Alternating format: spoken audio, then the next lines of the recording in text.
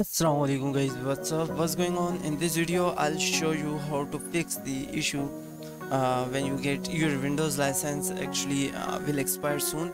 Uh, you need to activate your Windows. So let's get start the video. Before starting this video please hit the subscribe button share it with friends and um, if you have any question or any suggestion for me just drop your comment in the comment section. So the first setting ever we will uh, need to perform on this PC you need to open the CMD just click on the Windows and then type CMD then run as administrator. Click on yes user account control will appear just click on yes. And then you need to type here the SLMGR then space minus R C A R M and hit enter that's it.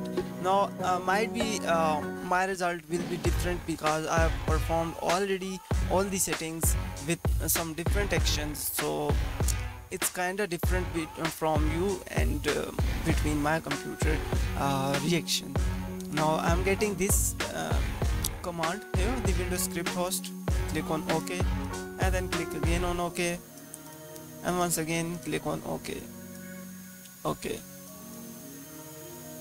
and then simply type exit and exit it okay now restart your PC and now just click again on Windows icon and this time you need to type here the GP edit means edit group pol policies and then go into it.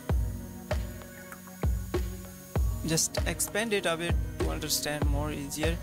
Now click on the administrative templates expand it now here you will find the windows component in the administrative templates. Expand it.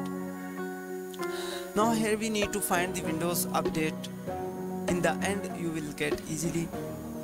And now simply you need to go here on the right side. And you need to find here no auto restart with log on user for scheduled automatically update install it install installation. Simply type here and select any service and then type and so you will get easily here. Now just right click on it and go into the edit section and just click on the enable. By default it's on not configured just click on enable and then click apply. Okay. That's it. Now close it. Now let's move on the next step and uh, fix some further issue. Might be these issues will solve your issue but in case if it's not solve your issue then you can perform further action. Every every action after the every uh, step you need to restart your pc that's important actually.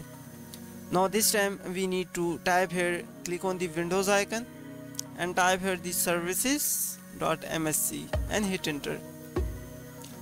Now here we need to find the windows license manager just select any service and then press W from your keyboard and you will easily get the Windows license manager. I think I avoid it. Okay here is it. Windows license manager service. Just right click on it go into the properties and here it might be its own automatic or manual. Just disable it. Hit apply click ok and close it now uh, the further step you need to perform here just uh, now again you need to uh, click on the windows icon and this time you need to type here the cmd1 scan right click on it run as administrator or okay restart is important okay? After every method you need to restart your pc now this time you need to type here a command. I'll provide the command in the description. It's better to uh, you know get from there copy and paste over there. Now go into the cmd and paste it here then press enter.